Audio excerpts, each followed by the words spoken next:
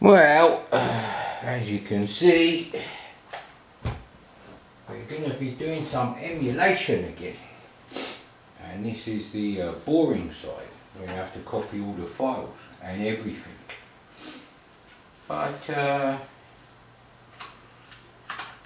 I thought it would be nice to actually do some uh, emulation related videos with the pan shop lighter obviously just to celebrate the fact that when the cats pushed my camera off the uh, coffee table onto the uh, ceramic tiles floor it didn't actually break. Luckily and I got a bit of a cold so even more sniffing. I know you love it. But uh, yes nobody asks me all the time because nobody uh, watches these videos anyway. They're really just for me. So really I'm talking to myself. It's great. Now there's, the situation is you can either buy a real let's say for example a real SNES Mega Drive or C64 or something like that uh, things like ZX Spectrum will come on to because uh, some games are actually played with a keyboard on that. Um, a lot of people did play those games with a keyboard as well. So we'll, we'll stay with a C64 for now. Pan Shop Lighter, I need your help mate. Help me Pan Shop Lighter, you're the only hope. Yeah, stop fucking about Malcolm with all your shit references. So,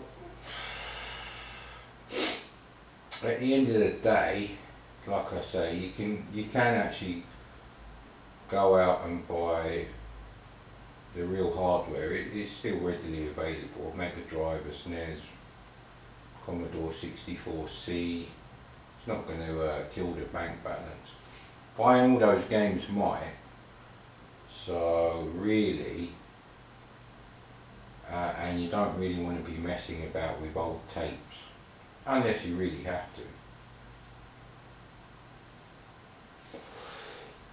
So you're really going to have to get an, uh, uh, an EverDrive or an SD to IEC or a Tapuino or something like that. Now, you can emulate these systems. SNES emulator's alright, I haven't really had any problems with it. Uh, Steve Snake's uh, Fusion emulator for all Sega consoles pretty much before the Saturn. And of course Vice. Now I did a bit of research on Vice and apparently the uh, V-blank synchronization was taken out around version 2.2 which is a long time ago, Ooh, possibly a decade ago. I've been using uh, 2.3 and 2.4 for a decade so probably. So like I told you mate, Windows is only for them fucking office losers who don't know how to use DOS based word processors and fucking shitty spreadsheet programs. I avoided using a spreadsheet program for 28 years of my life, mate. I just, no, I don't want to know, I don't need to know, it's all fucking wank. If I want a spreadsheet, I'll write one myself on a Commodore 64. Fuck you. Um, and that's why they took it out, because it doesn't work anyway. And like I said to you, Windows is not designed to basically say, oh, hello there little application, what, you would like to take complete control of the system? Okay, here you go. Of course, Windows does let rogue applications put viruses and malware and trojans on your system but it doesn't let Vice control the vertical blank synchronization properly. So that will always be an issue. That's what the Vice team have said anyway. So I don't know if it's different on Linux. I don't like Linux. I don't know if it's different on the Macintosh. I'm not paying a grand just for the pleasure of using the Macintosh operating system. On top of the 400 pound for the identical Dell laptop to the you know Macintosh uh, MacBook. They're exactly the same specs, and the price difference is a thousand pound, not the total price. Oh no. Of course, Apple they really fucked Commodore in uh, the early 90s with the uh, 25 megahertz 040 based Macintosh LC model, which was half the price of the Amiga 4000 040. But today they're back to their dirty fucking loser tactics of overpriced fashionista wank. Right, that's all the uh, Apple users gone. See you later, mate. But um, that is an issue.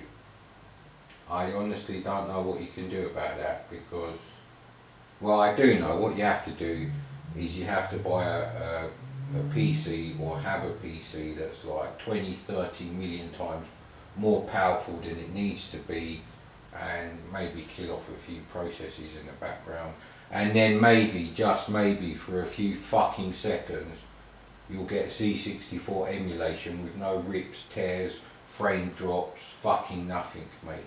It's a 1 megahertz 6502. It's fucking ridiculous, isn't it? Even with the sound turned off, they can't even emulate the fucking smooth scrolling. It's ridiculous. Uh, now, Amiga games are so badly programmed most of the time, You won't notice, but I, have got a glitch-free Shadow the Beast working on Windows.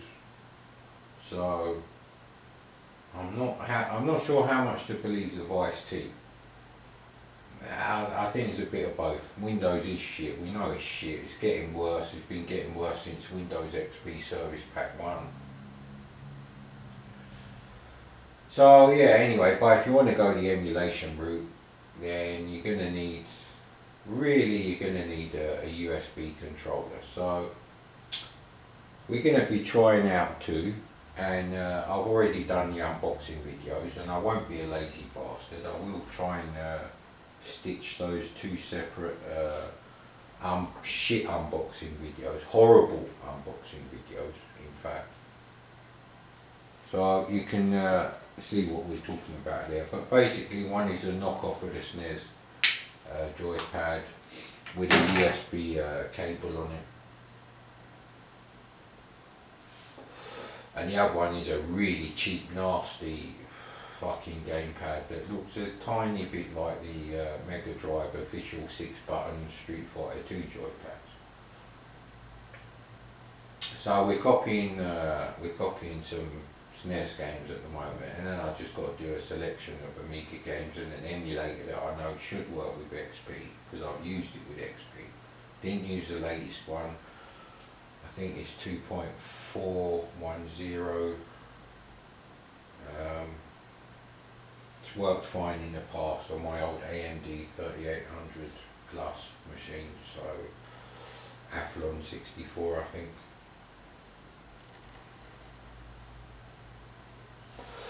Excuse me while I have an inhalation. Do not fucking smoke. I'm not joking about this. Never fucking, never have a cigarette, never. Don't even pretend to smoke. Don't even fucking buy the smoking monkey toys and look at them in fascination when you're a fucking kid. Man, things have changed. You don't want to get shit like that for sale. Today, except on eBay. fucking uh, overseas import shit. Anyway, so really, I'm I'm sort of testing out the uh, SNES joypad. I've done the uh, the death of a joypad last week. Although I have fixed that with a small screwdriver and some cardboard well, I think I've fixed it, and the other one arrived fucking broken anyway. But to be fair, the first one I did get a full refund on. So, and he didn't ask me to send it back. So, I gave him positive for that. I mean, if you're going to sell shit, and I'm, I'm zero pence and pounds out of pocket after it stops working, I, I'm not bothered. They, they don't even need to ring the bell to shove them through the letterbox, so that's no problem for me.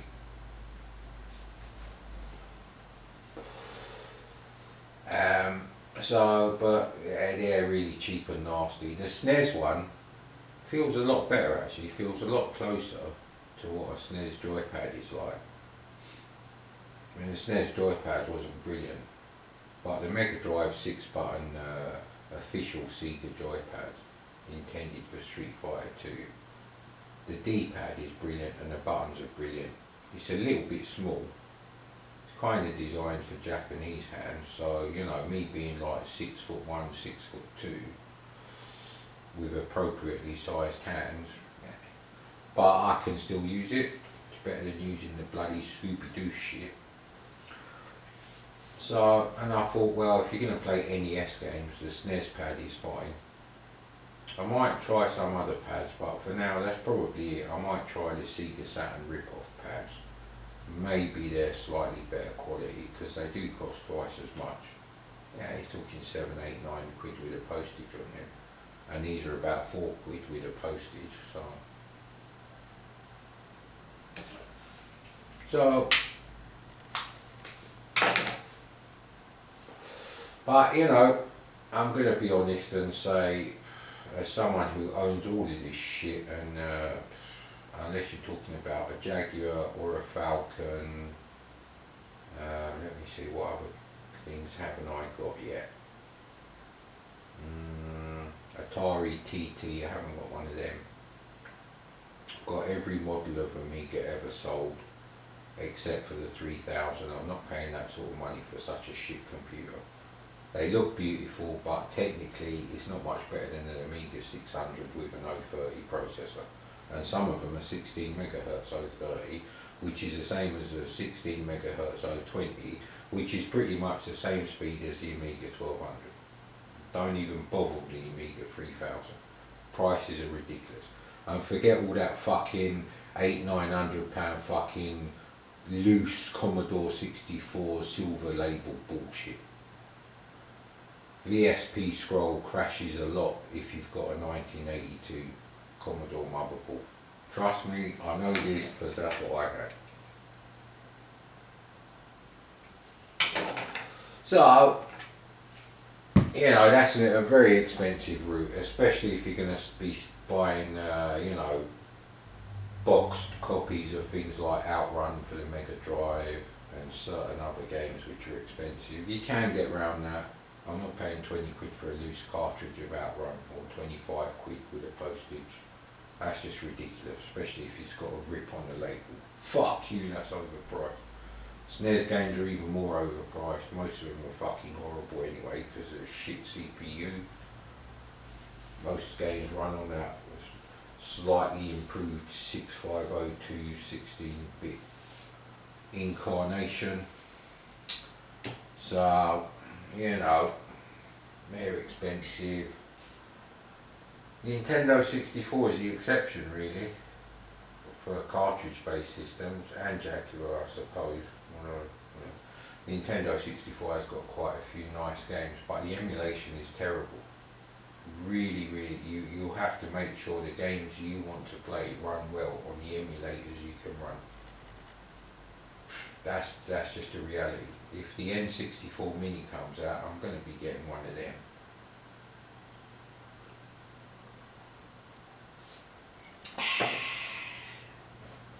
What the hell is in this bloody uh, So, you know, but even a C64 and a disk drive, all in good working condition, and then games on disk that work, original discs, tested and working, that is really going to become expensive very quickly.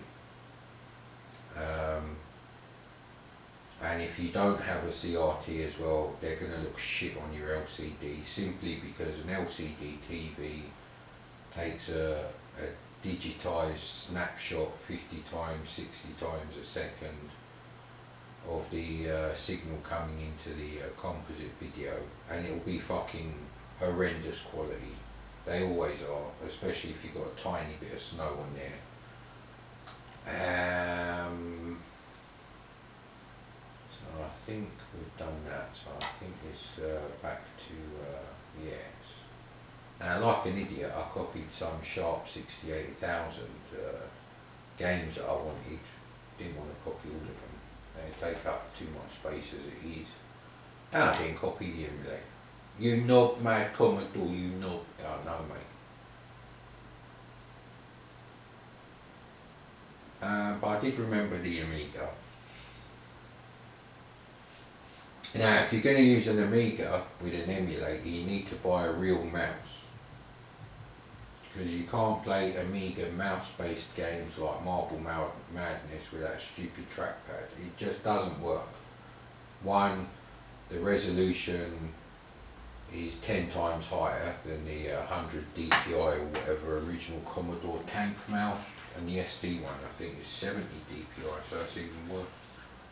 So it's just not really going to work. That's why you can't really play Powerdrome on the Amiga emulator you know, without turning down the uh, sensitivity for the mouse. But yeah, like I was saying, if you've got a CRT, there's still quite a few laptops that will connect to a CRT and desktops. If that's your thing.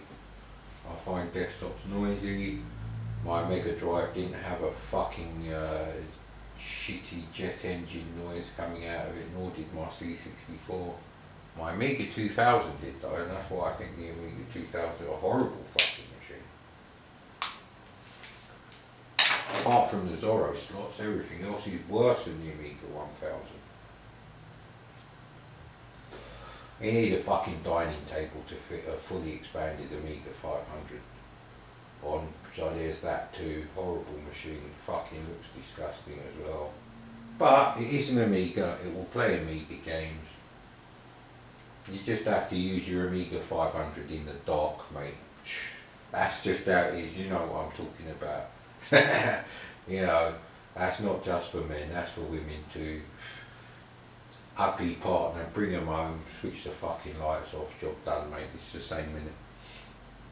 So, you really have to check out the emulators. Not all emulators are great, like I said, Nintendo 64, Jaguar, that's two that I can think of. Uh, PC Engine is covered, SNES, Mega Drive, C64, there are excellent Spectrum and Amstrad emulators too. Very good uh, Atari emulator as well, which I've got on here from before. Uh, I personally use an Atari 2600 emulator that uses Java and you know I'm running it on a stupidly fast AMD APU so that's not a problem there, but it might be on a, a cheap laptop you bought for like 30 quid or something, which is what this is. I bought a laptop just so I wouldn't have to uh, stick the projector on every time I went to look up if there's any fucking BMW 325i Sports for sale anywhere near me on eBay and yeah just stupid shit like that checking out YouTube um, so I bought a laptop just to use like that and it's a pretty good laptop. I actually thought the uh, WinVice problem was down to the uh, Intel built-in graphics instead of ATI or NVIDIA. But the uh, Intel graphics rarely fail, so you will want them.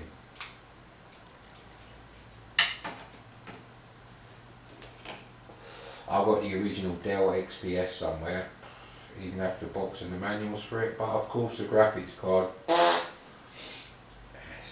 and uh, same problem with uh, other Dell laptops as well. Always the same. I think it's the same with uh, the other Core 2 Duo 17 inch Dell laptop I've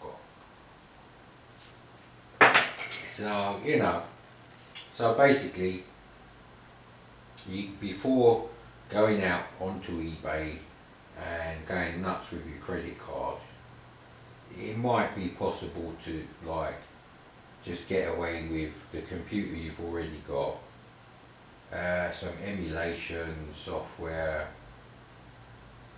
and if you've got a CRT, you really do need a CRT. All these 16-bit and 8-bit games were designed on CRT screens. The graphics will not work on something like an LCD doing a shit approximation uh, of the uh, composite video output of these consoles if you use real hardware. And it certainly won't look right if it's a pixel perfect square pixel piece of shit fucking emulated screen via HDMI or VGA or whatever from your PC. Well, you have to accept that. But what you definitely do need is a controller.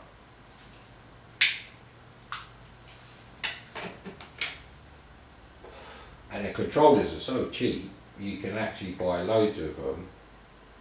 And it doesn't matter, you'll, you'll find one eventually where you're happy with it and it does the job. Now, as far as the C64 Amstrad, to a certain extent, Spectrum, Atari 800, that kind of stuff, Atari VCS really needs to be played with the VCS controllers.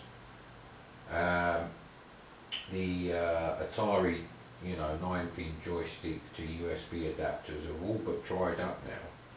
It's very difficult to find them, and they're quite expensive. You'll get like four or five joypads for the price of like one of those interfaces, and of course you'll have to find a Competition Pro or a Zip Stick in good condition to go with it. So that's another 20 quid, so you're talking 40 quid. But that's your thing, uh, and uh, the interface is good and there's no lag from the interface, then that's fine. Your other option is basically to buy the cheapest USB joypad and fucking solder the wires from the mini motherboard in one of those inside the fucking competition pro make your own.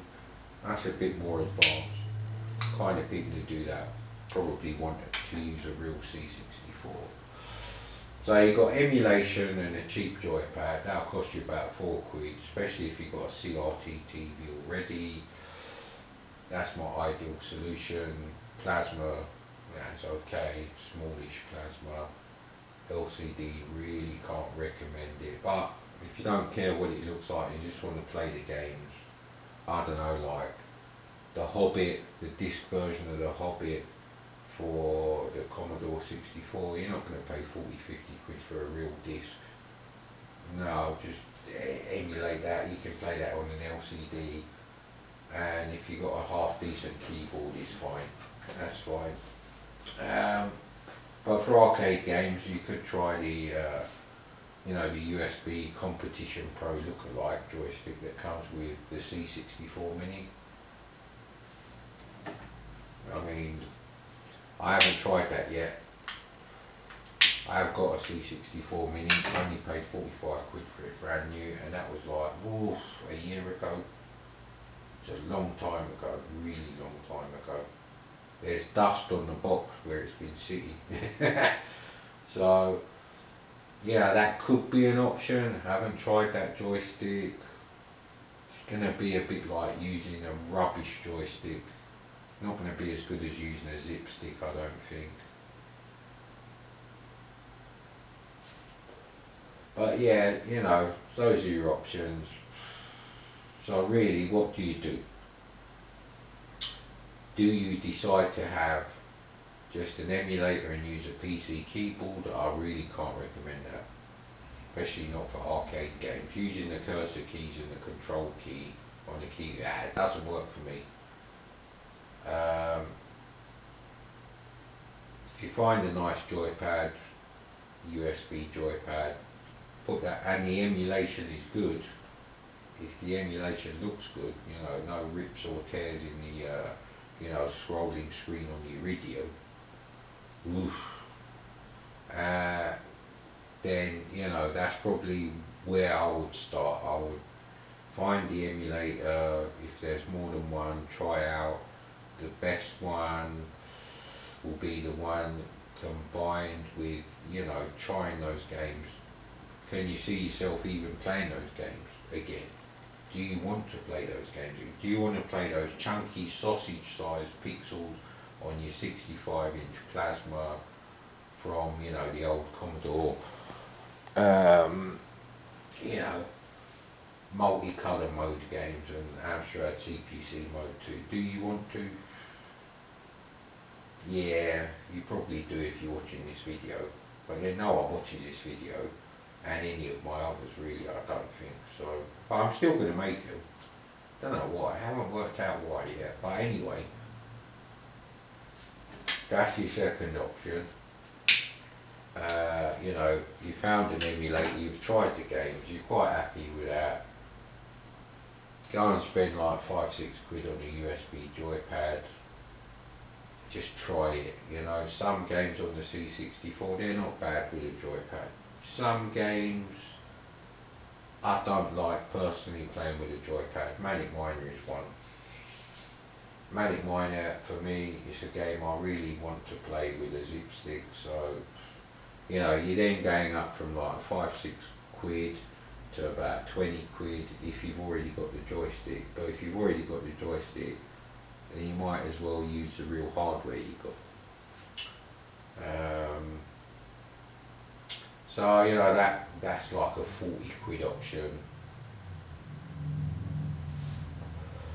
To buy a C64C that works but with a yellowed case and they're more reliable than the old bread bins. Uh, and I've yet to actually buy a C64C with an uh, 8580 chip so I've not yet found one that's got that and both my Commodore 128s have a 6581 SID in them as well. So the 8580 is actually you'd be pretty unlucky if you got stuck with one of them. But if you do get stuck with one of them the samples ain't going to play or play properly or barely audibly on a real C64 so yeah you know you're talking 50 quid for a bare bones bread bin another 10 quid for a tape deck. You can still get tape games. You know, some of the better ones are getting hard to find, let alone be happy with the prices. Or the fact that they don't fucking load when you get them, or they're always untested.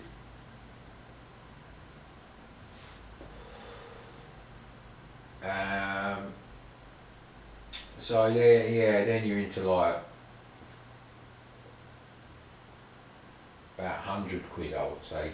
You're talking 100 quid for a a C64 tape deck, SD to IEC, uh, SD card and a joystick.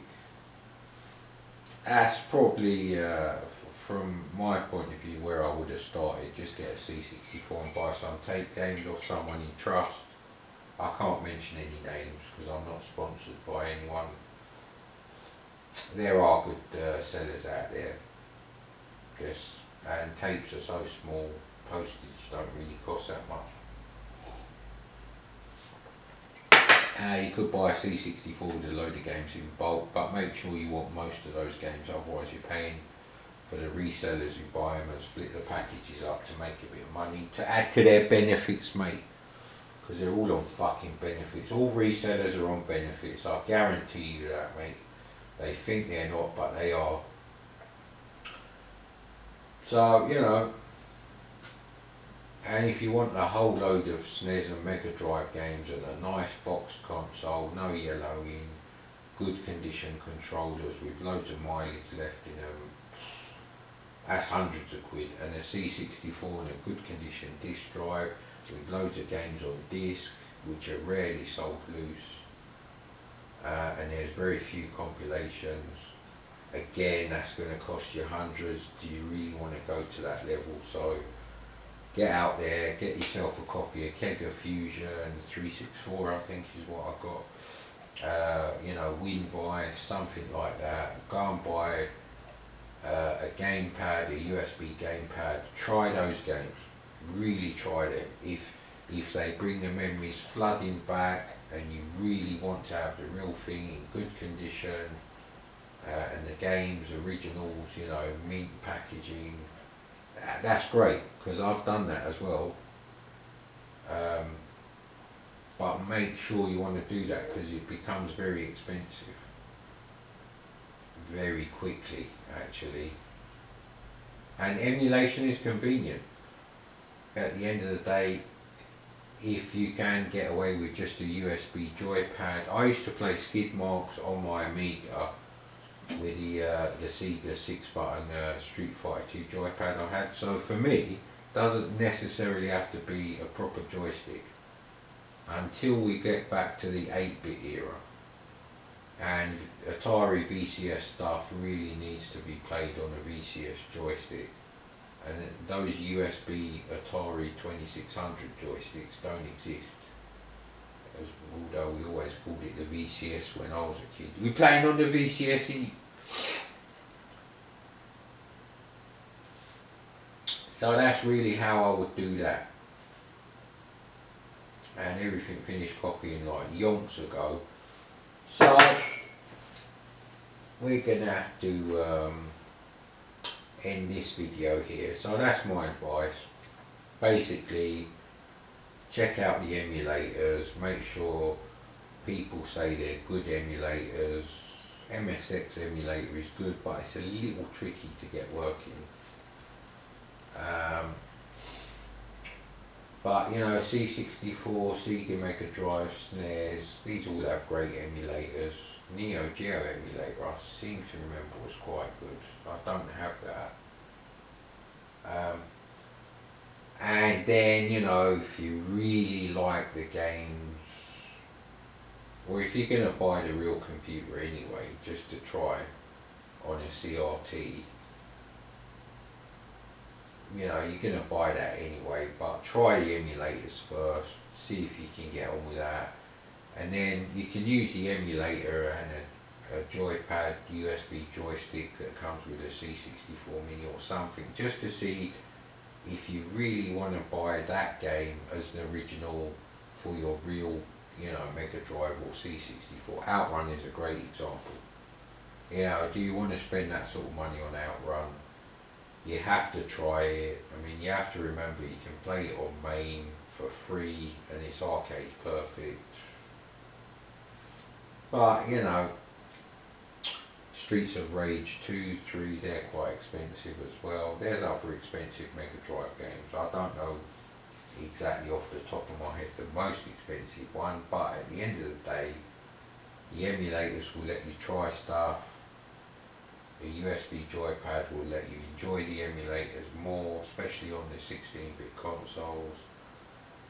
And then it's a great way to decide what you actually want to spend your money on as far as real, you know, boxed games and peripherals your, you know, computer or whatever. Even if you buy a real C64, having the whole lot as originals and everything mint and uh, a couple of spare machines and all these really expensive. So, and with the exception of things like the 3DO, Mega CD, uh, CD32, that kind of stuff, you can just burn the uh, CD images onto CDRs and play them on the real hardware. So that costs nothing. So that's worth bearing in mind. But got loads of C64s that don't work and I've got two high def graphics stereo sound mega drives and only one of them produces sound of any kind, stereo or otherwise, so it does get expensive. You buy this stuff, it stops working, it's worth a lot less than what you paid for it when it was working. And untested always means it don't fucking work. Just assume that and you can't go wrong.